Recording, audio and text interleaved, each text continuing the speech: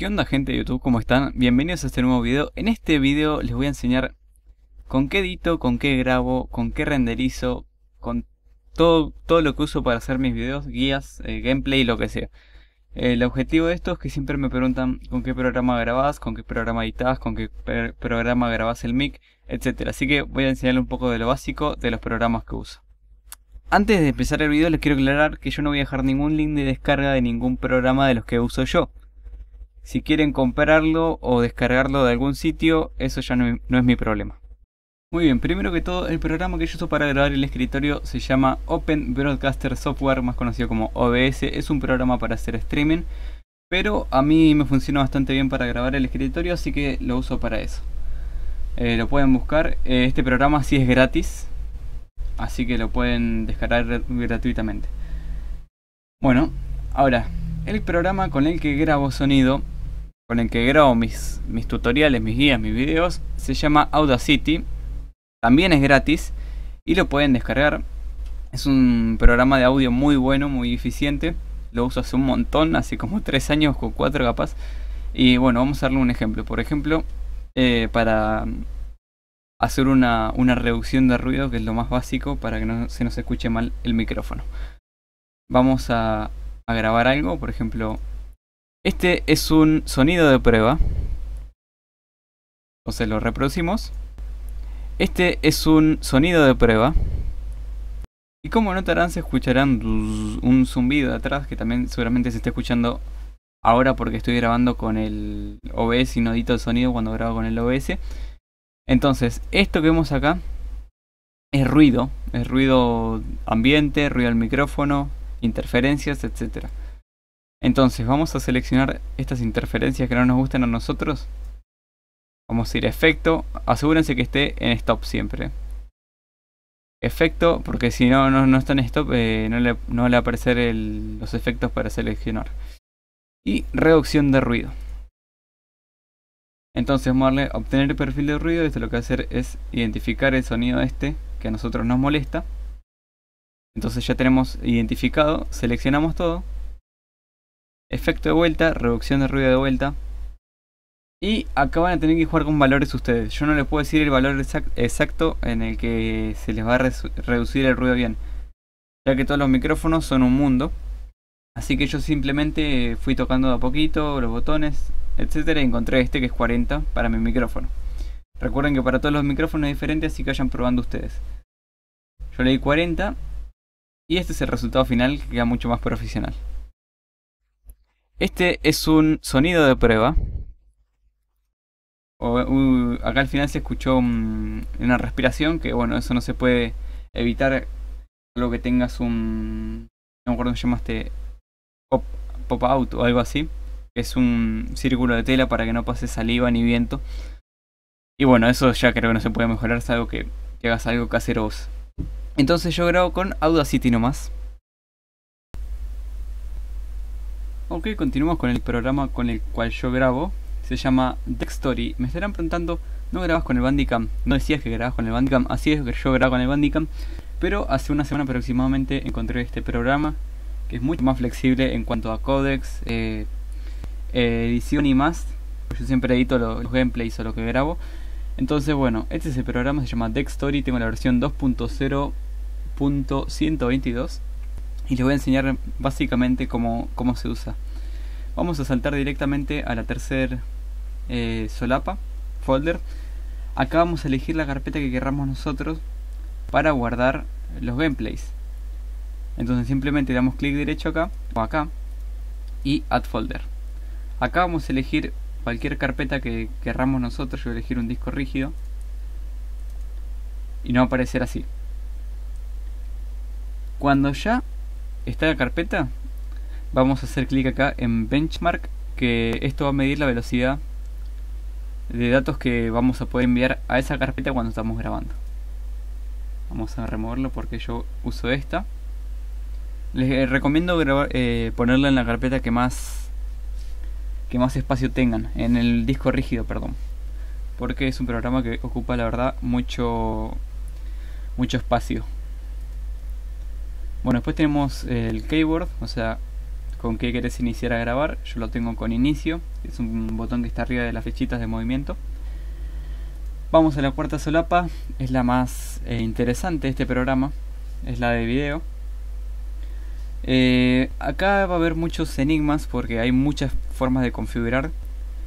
Les voy a mostrar cómo viene por default. Viene este, Dextory Video Codec. Eh, generalmente viene en Sub High Quality o RGB. Muy bien, ¿qué pasa si graban con este codec? Aunque eh, aparezca que supuestamente lo comprime. Un gameplay de 20 minutos va a pesar como 100 GB o, o 70 por ahí. Lo que pasa es que nos tira el archivo así real sin comprimir un poquito ni nada. O sea que pesa mucho. No es, no es conveniente si no tenemos un disco rígido bastante grande. 500 GB, un tera mínimo. Y además si queremos editar después eh, para comprimirlo o lo que sea, si es editar un gameplay eh, si no tenemos un buen procesador, se va a tildar mucho a la hora de editar, ya que está leyendo 70 GB eh, en, vivo, ¿no? En tiempo real.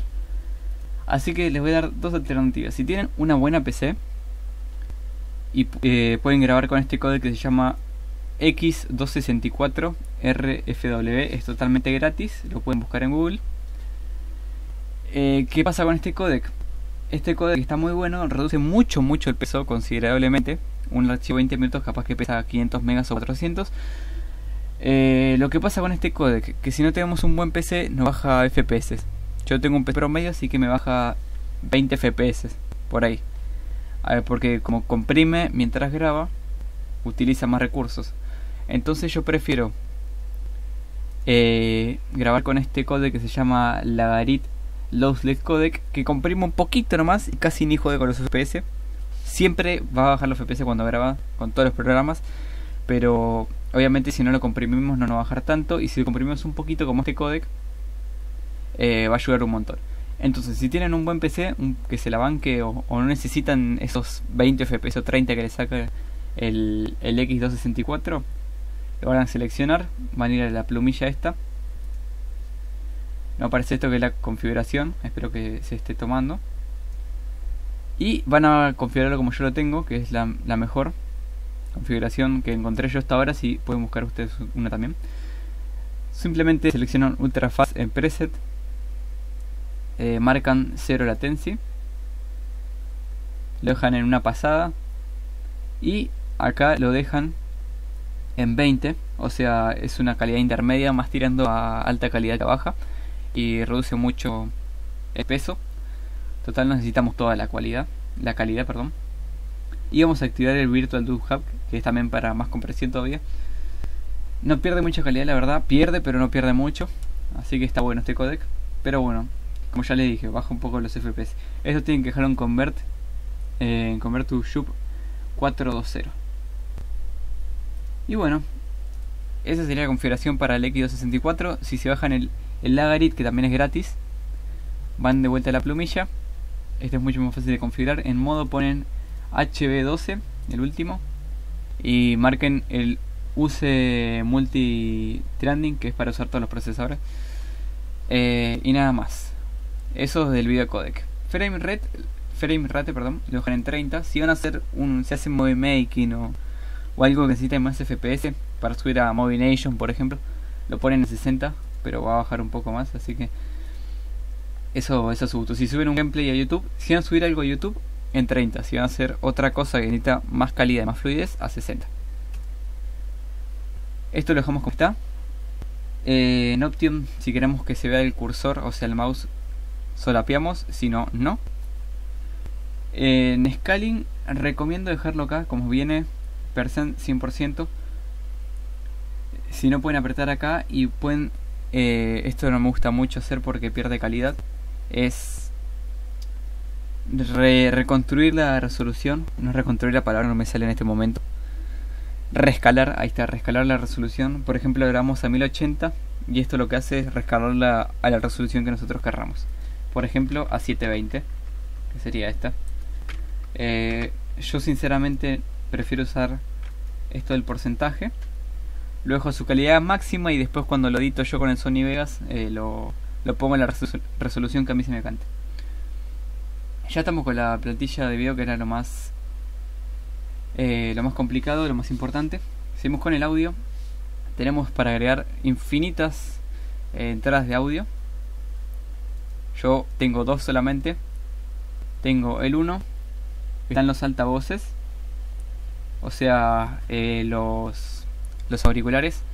Y en el 2 tengo el micrófono, no sé por qué se me deseleccionado, el micrófono. Entonces, si ustedes, por ejemplo, tienen un amigo que está al lado suyo, con un micrófono también conectado a su PC, pueden agarrar y añadir otro micrófono más. Tiene que aparecer acá. ¿Se entiende? Entonces, el sonido es eso, nomás lo dejamos como está por default acá. Eh, esto es para sacar fotos de screenshots de los juegos. Pueden dejarlo en PNG o en JPG si quieren que, que pese menos la imagen. Acá dejamos todo como está. Son opciones un poco más avanzadas. Todavía no, no descubrí muy bien para qué son. Salvo esta que es para limitar los FPS. Eh, esto que son opciones globales del programa. Si quieren que aparezca en la bandeja minimizado, si quieren que se actualice, etcétera. Y la información del programa. Y bueno, con eso terminamos con lo que es Story Ahora vamos a pasar a lo que es Virtual Dub con lo que es eh, con el programa que comprimo yo antes de mandarlos al Sony Vegas. Bueno, pasamos al Virtual Dub, que es el programa con el cual yo comprimo mis gameplays, mis gameplays es la versión 1.9.11, Bill 32842. Vamos a dar un ejemplo muy, muy, muy, muy brusco. Acá tengo mi, mi carpeta de grabaciones de gameplays. Tengo el capítulo número 4 de la serie de Minecraft que pesa 5 GB con 38 megas. Así que vamos a arrastrar al Virtual Tube. ¿Por qué pesa tanto? Como ya dije, con el Story yo uso una configuración con la cual comprime algo, pero no mucho. Para terminar de comprimirlo acá, si no me consume FPS cuando juego. Entonces ya tenemos acá el video, lo tenemos que arrastrar simplemente. Tiene que ser eh, de, formato AVI para poder meterlo en este programa. AVI original no, no es que eh, lo convertís a AVI y, entra acá, no tenés que grabarlo en AVI directamente. Entonces lo primero que vamos a hacer es ir a, a compresión, video compresión. Nos va a aparecer de vuelta codex. Vamos a elegir, ahora sí, el X264, que es muy bueno, pero bajo el FPS. Como no estoy jugando y ya tengo la grabación hecha, lo puedo usar y no me va a afectar totalmente en nada y va a bajar mucho eh, el peso del archivo. Con lo mismo, las mismas eh, opciones marcadas que teníamos en el Deck Story, así que le damos OK.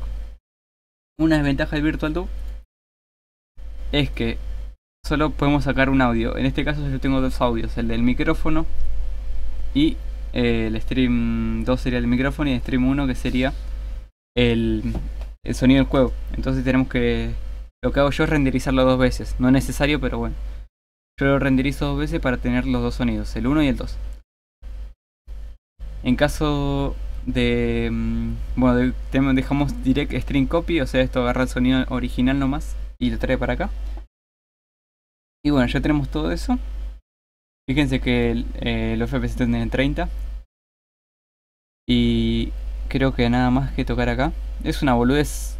Comprimirlo encima tarda poquísimo en renderizar el Virtual Tube, ya que solamente comprime. Cuando ya está todo esto, van a Sabe as Avi Avi. Y bueno, acá guardan la, la parte con el nombre que ustedes quieran. Yo ya la guardé. Simplemente le dan a guardar. Y aparece que está renderizando, no tarda nada. Ahora estoy grabando, así que va a tardar más quizá. Pero bueno, la cosa es que yo esto ya lo hice. Ya comprimí la parte y le voy a mostrar. Esto es lo que hicimos recién que medias. En cuánto quedó. ¿Pesaba cuánto? Pesaba 5 GB la primera parte. Y ahora nos pesa. No está la parte 2. Ahora nos pesa 0,97 GB. O sea, está, pesa 5 veces menos. Está mucho más liviano ahora. Eh, esto es otra parte, no se confundan. Estas son partes más cortitas. Esta pesa 500 megas. Eh, O sea, de 5,300 GB, 5,300 megabytes, o sea, 5300 megabytes, pasa a pesar un GB. Es mucho, es mucho, la verdad. Y después, si quieren, pueden volver a comprimirlo cuando lo editen en Sony Vegas. Eh, básicamente ese es el uso que le doy al, al Virtual DUB y bueno, ahora por, como último pasamos al Sony Vegas. Bien, para concretar este tutorial les voy a mostrar qué, hago en el Sony Vegas yo para grabar. Uso el Vegas Pro 11.0 eh, y bueno, primero que todo les voy a mostrar las configuraciones de, de, plantilla principales. Van acá donde dice propiedades del, proyecto, de video proyecto eh, cartelito. Y yo tengo de todos los presets que hay acá por default, tengo HDB 720p en 30 fotogramas por segundo. Esto lo dejo, lo dejo todo default, lo dejé todo default. 8 bits. Calidad de renderización máxima buena. Lo pueden poner la mejor, pero yo lo pongo después cuando renderizo. Eh, pueden apretar acá, solapear. Así cada vez que inician ya se pone todo esto solo. Bueno, imaginen que voy a renderizar un video, el de Minecraft, vamos a poner, ya que estamos. Tenemos que ir a generador de medios, no, perdón, a medios, medios de proyecto. Y acá vamos a archivo, importar medios. Eh, voy al escritorio que es donde yo tengo la parte. Vamos a poner esta que pesa 520 megas, que creo es la parte 2. Simplemente arrastran el clip al, a la línea de tiempo, al timelapse. Y muy bien, ahí tienen... Esto lo podemos activar acá. Eh, ahí tienen el video, le pueden agregar texto, lo que quieran. Eso ya no me voy a profundizar mucho en cómo usar el Sony Vegas, sino eh, en cómo renderizo yo y cómo lo guardo. Eh, recuerden siempre seleccionar acá. Si se renderiza eso. Y bueno, ya cuando tengo, tengo seleccionado, vamos a archivo, renderizar como. Y bueno, acá tengo mi plantilla de renderizado, la tengo en favoritos. Ahora les muestro en qué me basé para hacer esta plantilla.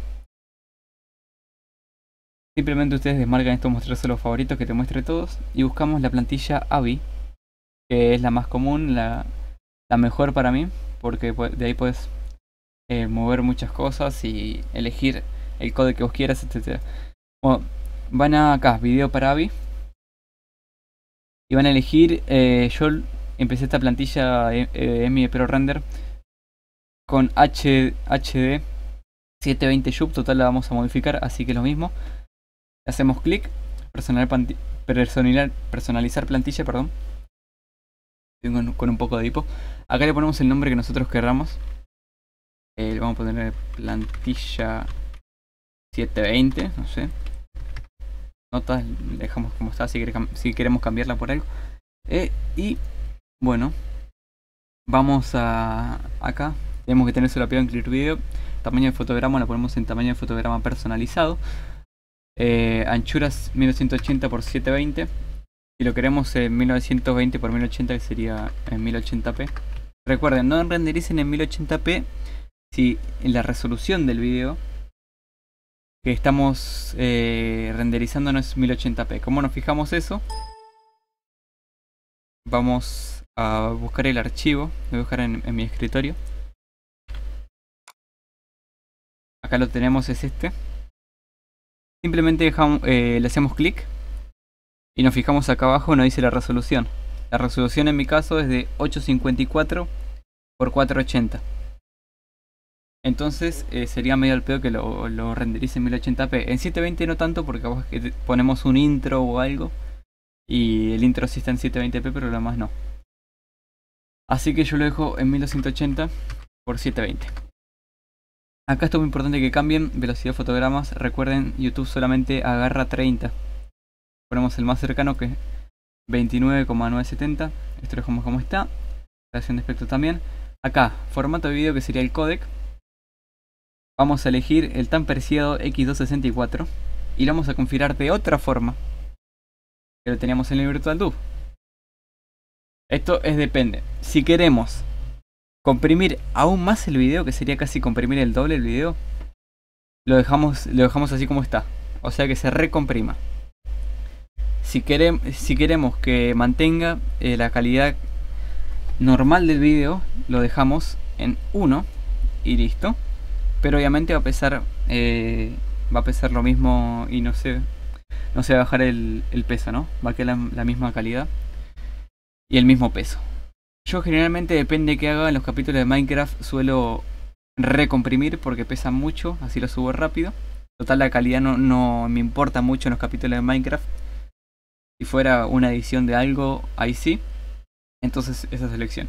Recuerden que si eligen uno, eh, renderizan, bla, bla, bla, bla, graban otro video, entran al Virtual va a estar configurado así en uno. Así que siempre recuérdense, recuerden de abrir la ventanita del, del X264 y verificar que esté en 20. O en 1, depende de lo que quieran ustedes. Yo en mi caso lo voy a dejar en 20. El mes irrelevante el número después de la coma. Que lo dejaron ahí. Ya tenemos todo esto. Intercargar por cada segundo. Esto déjenlo así. Capaz lo tienen en 000. Da igual. Es. En YouTube tiene que estar así. En audio. Eh, lo dejamos PCM sin comprimir. Eh, si quieren yo tengo cambiado esto para que tenga mejor calidad de audio. Lo tengo en 128 que es lo normal. YouTube no lee más, creo tampoco. Profundidad 16. Canales estéreo. Y bueno, así el sonido. Y por último proyecto. Esto sí lo tenemos que cambiar. Utilice configuración de proyecto, lo ponemos la mejor. Acá sí. Recuerden que yo le he dicho que no ponía, buena em, la configuración anterior. Y cuando renderizaba ponía la mejor. Esto lo dejamos como está. Y bueno, le dan acá al disquete este para guardar la plantilla. Yo no lo voy a guardar porque yo tengo la de mi Pro que es totalmente igual. Así que bueno. Después pueden hacer clic en la estrellita para ponerla como favorito y que se le aparezca acá, en los favoritos. Entonces ya seleccionan su plantilla y le dan a renderizar. Lo que van a notar es que el tiempo de renderizado del X264 es mucho más pequeño que lo de los más codecs o sea, se renderiza mucho más rápido. No voy a renderizar esto porque es al pedo. Eh, eso es lo bueno de ese codec, que hace magia. Si tenemos una muy buena PC, como ya dije, o nos da igual perder FPS en los juegos, podemos grabar directamente con ese codec para ahorrarnos todo este trabajo que hicimos con el Virtual Dolby de Sony Vegas. Y bueno, nada más por este tutorial de cómo eh, grabo, edito el sonido, el video, los gameplays, todo lo que hago yo en mis videos. No es trabajo fácil, hay que tomarse su tiempo. Eh, si no es un gameplay, generalmente me paso horas editando, después renderizando, subiendo el video. Es mucho trabajo hacer un video, señores. Por eso me gusta que me agradezcan eh, suscribiéndose, darle un like, siempre me sube la moral. Sé que hay gente que lo ve y que le gusta, que me apoya para que siga haciendo esto. Y bueno gente, nada más, hasta acá por el video de hoy. Nos vemos hasta la próxima. Chau chau.